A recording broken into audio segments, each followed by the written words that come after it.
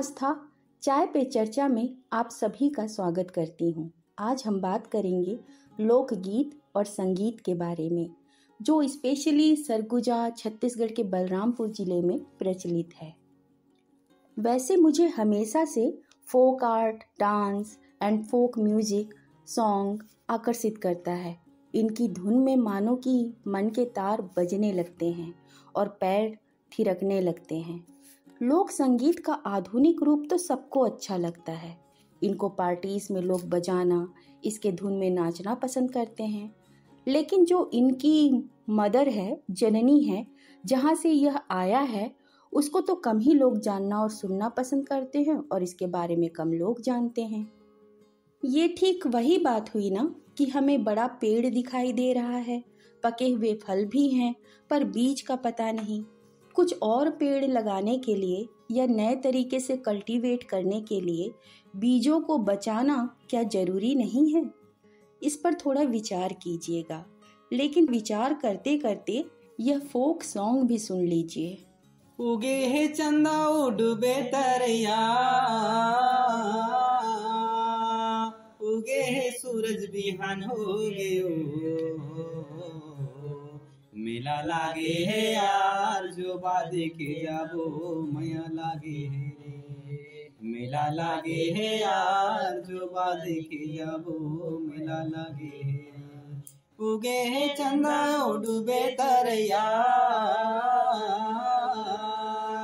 उगे सूरज, बिहान हो। गयो मेला लागे है यार, जो बादी के जाबो मया लागे मया लागे है यार जो बादी के जाबो मया लागे रे अरे बसराज बाबा ला का ते चढ़ाना, जे ही चढ़ाऊँगा ते ते चढ़ाना। ढेर लगी रुपया कहाँ, इतना पाना, चोराया हूँ दाई कर धन ते बताना। बस बाला का ते चढ़ाना चढ़ावेगा, वही चढ़ा हूँ डेरे लाग ही रुपया कहाँ, इतना पाना, चोराया हूँ दाई, कर झन ते बताना। रंगे हंस भक्ति माते का संगवारी। दर्शन बर तोरो ध्यान हो गयो मेला लागे है यार, जो बा देखे जाबो, मया लागे है रे। मेला लागे है यार, जो बा के जाबो, मया लागे है रे। रंगे हंस भक्ति माता का संगवारी। दर्शन बर तोरो ध्यान हो गयो। मेला लागे है यार, जो बा देखे जाबो, मया लागे है रे। मया लागे है यार, जो बा देखे जाबो, मेला लागे है रे। जय बसराज। इस गाने में गायक ने लोकगीत के माध्यम से बलरामपुर में स्थित बैगा जनजाति का पवित्र स्थल बसराज कुंवर और जोबा पहाड़ के बारे में बताया है।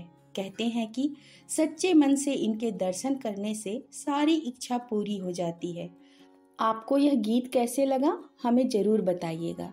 वैसे इस गाने के बाद इन लोक कलाकारों से बातचीत और इनका परिचय तो बनता है। हमारे चाय पे चर्चा में हम आप सभी लोक कलाकारों का स्वागत करते हैं। हम चाहते हैं कि आप अपना अपना परिचय दीजिए। जय जोहार, मैं विशाल। मैं अपना परिचय आप लोगों को दूँगा अपने म्यूजिशियन ग्रुप से ही और मेरे ग्रुप के मेंबर को भी सभी को मतलब परिचय कराऊँगा ही, लेकिन सबसे पहले अपना परिचय दूँ। मेरा नाम है विशाल कुमार, मैं गाता हूँ और मैं इस बलरामपुर क्षेत्र से ही हूँ। हम लोग इस म्यूजिकल ग्रुप में गाते भी हैं, बजाते भी हैं और बहुत सारे कामों को करते हैं, जैसे मूर्ति बनाना हो गया घर मिस्त्री हो गया राज मिस्त्री जिसको कहते हैं घर जोड़ते हैं ये सब कामों को और अत्यधिक पे, पेंटिंगों काम को भी करते हैं। और हमारा जो आ, काम है आ, क्या बोलते हैं अपने छत्तीसगढ़ के अपने बलरामपुर क्षेत्र के लोक गीत और लोक प्रचलित जो कहानियाँ हैं कथाएँ हैं इन सबको आगे लाना और जो बिसर जा रहे हैं अपने भूले जा रहे हैं जिसको युवा पीढ़ी जो भुला जा रहा है उसको हम लोग अपने क्षेत्रों में लाने के प्रयास में मतलब प्रयासरत रहेंगे। मैं संदीप कुमार भारती तबला और मांदर वादक हूँ। मैं बलरामपुर से ही हूँ और मेरा काम पेंटिंग भी करता हूँ और खेती किसानी भी करता हूँ। मेरा नाम अरविंद कुमार वर्मा मैं बलरामपुर से हूँ और मैं नाल बजाता हूँ और अभी के डेट में पढ़ाई करता हूँ और खेती गृहस्थी करता हूँ। धन्यवाद। मेरा नाम अनुज सुमन मैं आर्गन वादक हूँ और मैं छोटी मोटी मूर्ति कार्य भी करता हूँ और मैं खेती गृहस्थी में भी कार्य करता हूँ। मेरा नाम देवधारी सोन्हा है। मैं बीएससी सेकेंड ईयर में पढ़ाई करता हूँ और साथ साथ में लोक नृत्य में और नाटक और झान मंजीरा वाद्य यंत्र बजाता हूँ और मैं बलरामपुर से ही हूँ। मुझे पता चला है कि आप लोगों ने अपने इस म्यूजिकल ग्रुप का कोई नाम भी रखा है। तो मैं जानना चाहती हूँ कि आपके बैंड का नाम क्या है? जोहार सरना म्यूजिकल ग्रुप बलरामपुर के नाम से हम लोग इसका नाम रखे हैं। बहुत ही खूबसूरत नाम है। जोहार का अर्थ भी मुझे पता है और सरना का मतलब भी पता है मुझे। वैसे आप ये बताइए कि आप सब एक साथ इकट्ठा कैसे हुए? या आप लोग दोस्त हैं, साथ में पढ़ते थे, या फिर गाँव में ही कोई मित्र ग्रुप या मित्र मंडली के सदस्य रहे हों? बताना चाहूँगा कि हम लोग कुछ कारणवश मतलब एक ट्रेनिंग पर गए वाडफ नगर। तो वहीं से मेरे दो दोस्तों से परिचय हुआ और वहीं से हम लोग मतलब इस मतलब ग्रुप का मतलब संगठन करते करते मतलब आज बना चुके वहीं से हम लोग का मुलाकात मुलाकात हुआ और मतलब मैं सोचा कि जब मैं गाता हूँ एक ढोलक बजाता है, ढोलक नाल बजा लेता है, एक आर्गन बजाता है और एक मांदर वगैरह बजा लेता है झांझ बजाते हैं और तबला भी बजाते हैं। तो मैं सोचा क्यों नहीं कि अपने ही लोक कला और लोक गीतों को ही इस माध्यम से हम लोग आगे बढ़ाने का प्रयास करें, जिसको हम लोग भूले जा रहे हैं। तो उसी कारण से हम लोग इस ग्रुप पर जुड़े और हम इसका नाम भी आज संस्करण कर दिए हैं और हम इसको आगे बढ़ाने की लक्ष्य पर रहेंगे। बहुत खूब विशाल। आपका उद्देश्य सच में बहुत अच्छा है कि आप लोक संगीत को, गीत को आगे लेकर जाना चाह रहे हैं और जहाँ तक ये सारे चीज़ हैं, आज के डेट में लुप्त होते जा रहे हैं तो इनको संरक्षण की वैसी भी बहुत आवश्यकता है। अच्छा विशाल, आप हमें ये बताइए कि लोकगीत से आप क्या समझते हैं? जी मैम, मैं बताना चाहूँगा लोकगीत लोकगीत यह होता है जो लोक प्रचलित, लोगों के माध्यम से गाना और सुनना जो गीत गाई जाती है, उसे लोग प्रचलित करते हैं। ये कहीं किसी पुराण या कहीं से लिखा हुआ नहीं है। इसको मानव कृत द्वारा इसको गाया जाता है, जिस प्रकार से हम जानते हैं कि आज विख्यात छत्तीसगढ़ में तीजन बाई, जो कि बहुत प्रसिद्ध मान्यता एक प्रतिष्ठान व्यक्ति हैं, जो कि जिनको सभी को जानते हैं कि पांडवानी गायन में वो महारत हासिल कर चुकी हैं जिनको कि पद्मश्री पद्मश्री से सम्मानित किया गया। ऐसे लोक कथाएँ होती है लोक कला होती है लोकगीत होता है। उसी प्रकार से लोकगीत होता है जो कि जो कहीं लिखा नहीं होता है उसको बनाया जाता है। लोक प्रचलित लोगों पर गाया जाता है। इसे लोकगीत कहते हैं। आप इसी के प्रति आकर्षित क्यों हुए?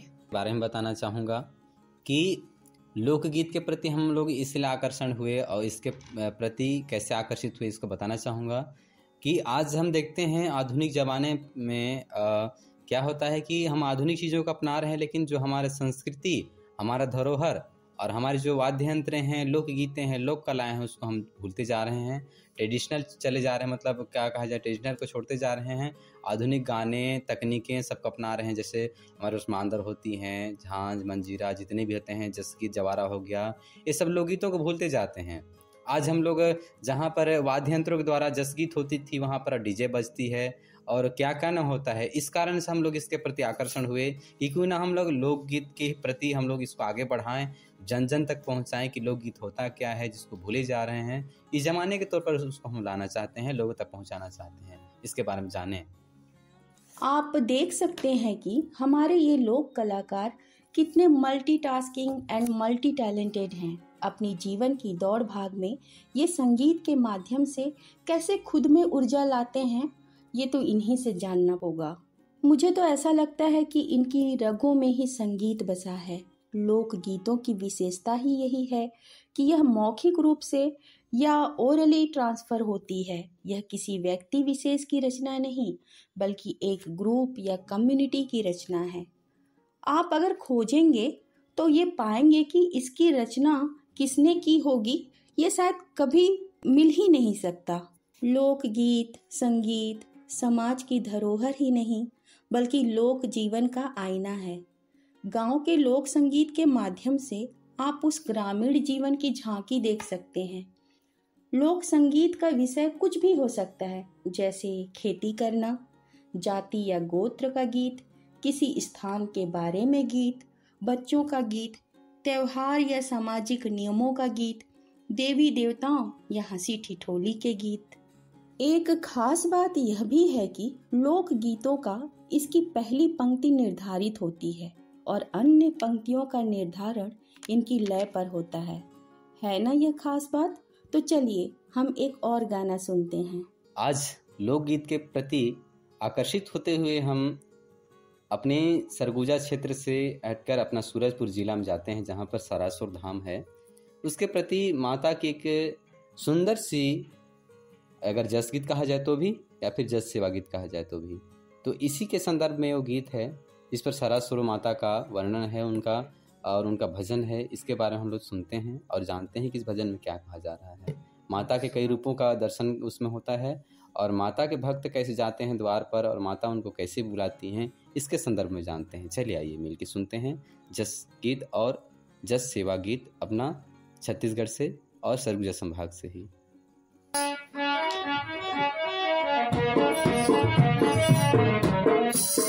Thank you.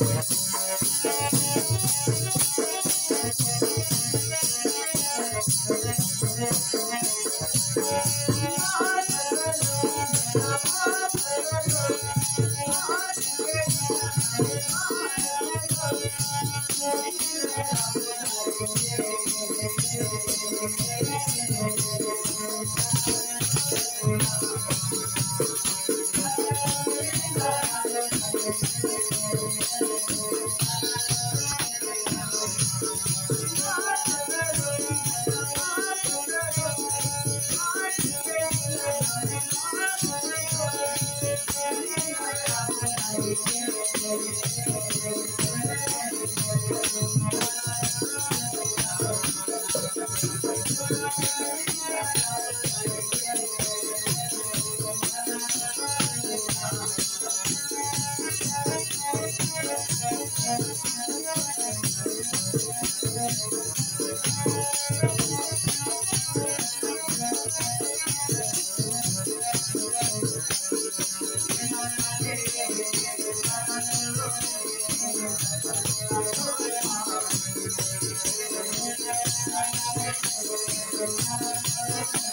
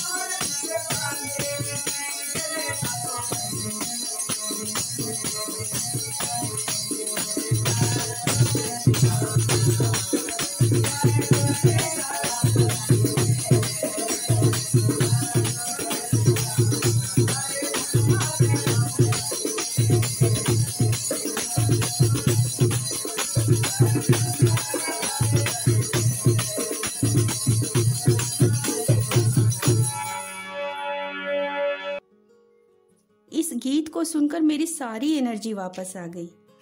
म्यूज़िक से ज़्यादा अच्छा मेडिटेशन कुछ हो ही नहीं सकता।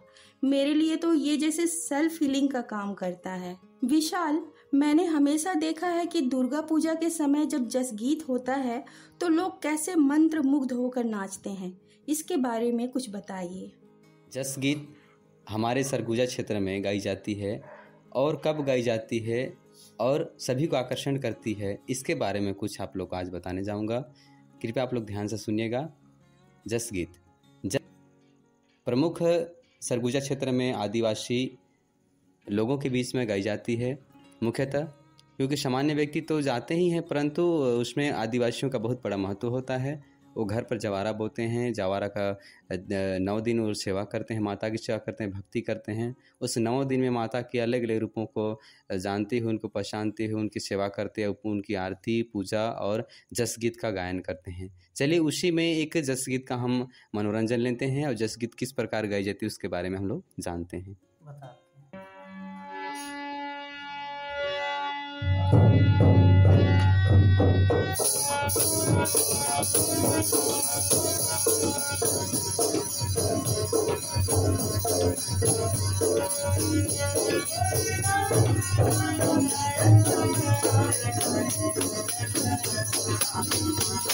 माता आई के करे दूरा नारे के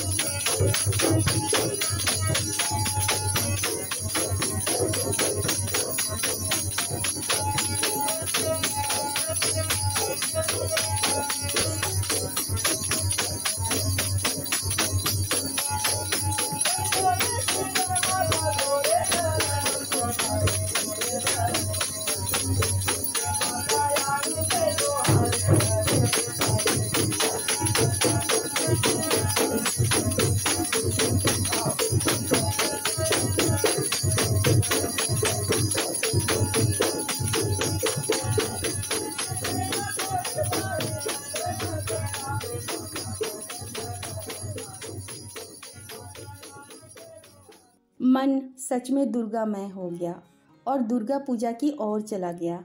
सरगुजा ही नहीं, बल्कि मैं पूरे भारत की ही बात करूँ तो कोने कोने में लोकगीत संगीत बसा हुआ है, जिस पर एक अच्छा रिसर्च और डॉक्यूमेंटेशन होना ही चाहिए। मैंने देखा है कि शास्त्रीय संगीत पर रिसर्च होती है, पढ़ाई भी होती है, पर लोक संगीत धूमिल पड़ जाता है। लोकगीत शब्द प्रधान होता है और शास्त्रीय गीत ध्वनि प्रधान। या यूँ कहूँ कि शास्त्रीय संगीत जहाँ साधना है, वहीं लोक संगीत शब्दों को छंदबद्ध एक वाणी है। तो इसी क्रम में हम अगला गाना सुनते हैं। लोकगीत की एक और कड़ी पर चलते हैं। आज हम सुनेंगे कर्मा। हमारे सरगुजा संभाग के बलरामपुर क्षेत्र में कर्मा गाई जाती है, जिसमें दो प्रेमी अपने संदर्भ में एक गीत गाते हैं, जिसमें कि उसके जो प्रेमी रहता है वो किस प्रकार से मदमोश मतलब नाचता है और फिर नींद लगता है, फिर उस प्रकार वो अपने जो प्रेमी होता है उसको भूल जाता है प्रेमिका को। तो इसके बारे में दोनों प्रेम और प्रेमिका इस गीत को गाते हैं। चलिए इसको सुनते हैं कि किस प्रकार से सरगुजा क्षेत्र में कर्मा खेली जाती है और गाई जाती है। इसके बारे में विस्तारपूर्वक से इस गाने पर सुने।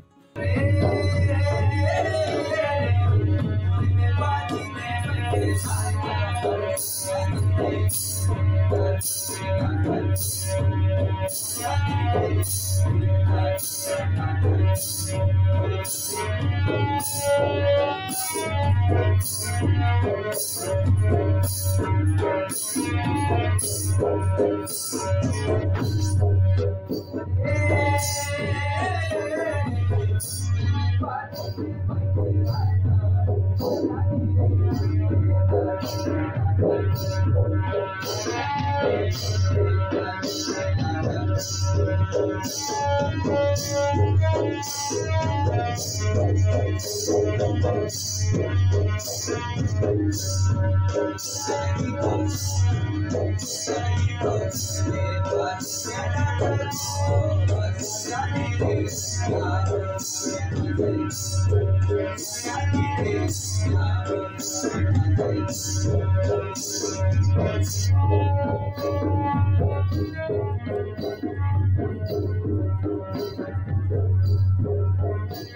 इनकी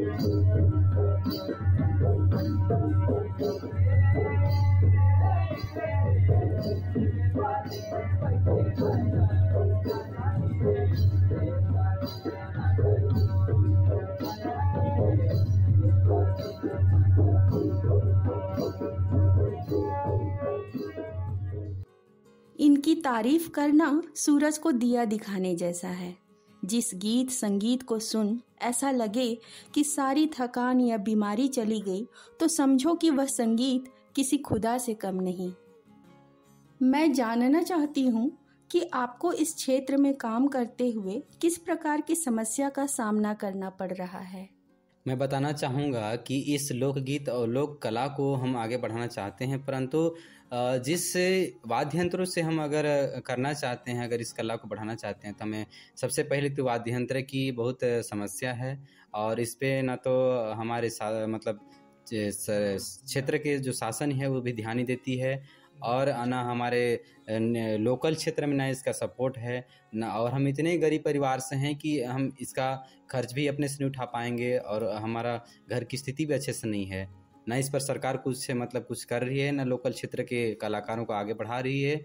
और क्या करती है कि अभी जो नेशनल या इंटरनेशनल प्रोग्राम होते हैं, बाहर बाहर से कलाकार हैं, लेकिन अपने लोकल क्षेत्र के कलाकार को कभी मौका नहीं मिलता है।